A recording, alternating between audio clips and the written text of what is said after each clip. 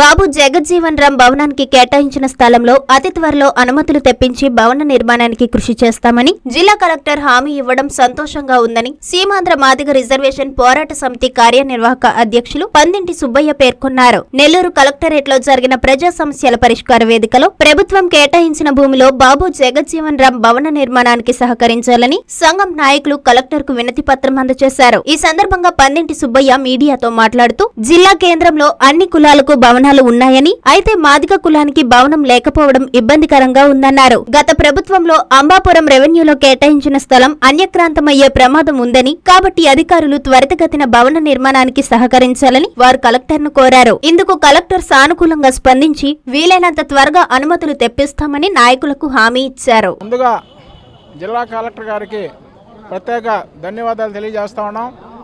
ఎందువల్ల అంటే గతంలో జిల్లా కలెక్టర్ హరినారాయణ గారు మాకు జగజ్జీవన్ రావు భవనం కొత్తూరులో స్థలం కేటాయించడం కూడా కేటాయించడం జరిగింది. ఆ విషయాన్ని ముందుగా జిల్లా కలెక్టర్ గారి దృష్టికి తీసుకెళ్ళడం కూడా జరిగింది.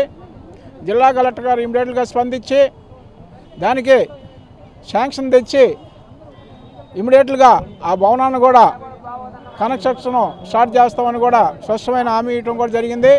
అందులో భాగంగానే ఈరోజు జిల్లా కలెక్టర్ గారికి ప్రత్యేక ధన్యవాదాలు తెలియజేస్తా ఉన్నాం. అందువలన రాబోయే రోజుల్లో అన్ని కులాలకి అన్ని మతాలకు కూడా భవనాలు ఉన్నాయి. కానీ ఒక ఎస్సీ మాది కులానికి సంబంధించిన బాబు జగజ్జీవన్ రావు భవనం గత ప్రభుత్వంలో బట్టోడు పాలెం సెంటర్లో కూడా బాబు జగజ్జీవన్ రావు భవనం మంజూరు చేయటం జరిగింది.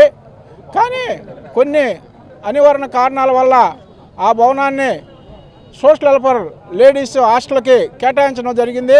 ఎందువల్ల అంటే అక్కడ కూడా దళిత పిల్లలు కాబట్టి వాళ్ళు ఇబ్బందులు పడుతుంటే చూసి ఉండలేక ఆ భవనాన్ని ఆ సోషల్ వెల్ఫేర్ హాస్టల్కి కేటాయించడం జరిగింది. అప్పటి నుంచి కూడా బాబు జగజ్జీవన్ రావు భవనం లేకుండా అనేక దఫాలుగా కలెక్టర్ గారి దృష్టికి అదేవిధంగా మంత్రి గారి దృష్టికి కూడా తీసుకెళ్ళి చాలా వరకు ఆ స్థలాన్ని కూడా సాధించడం జరిగింది. ఇప్పుడు మన జిల్లా కలెక్టర్ గారు కూడా స్పందించి ఆ భవనానికి కావలసిన ఏర్పాట్లను కూడా చేయడం చేయమని కూడా ఆదేశించడం జరిగింది.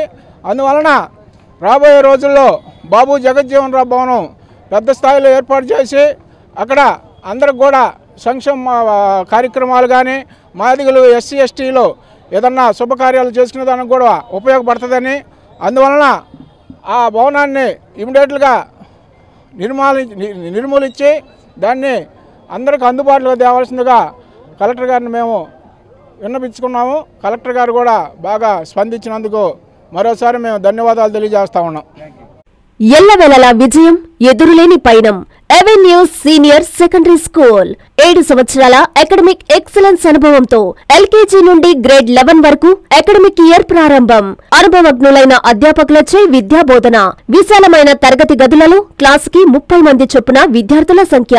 Computer lab science lab maths lab library digital classrooms లాంటి మెరుగైన సౌకర్యాలతో విద్యా బోధన ఎల్కేజీ నుండి గ్రేడ్ లెవెన్ వరకు అడ్మిషన్లు జరుగుతున్నవి ట్రాన్స్పోర్ట్ సౌకర్యం కలదు.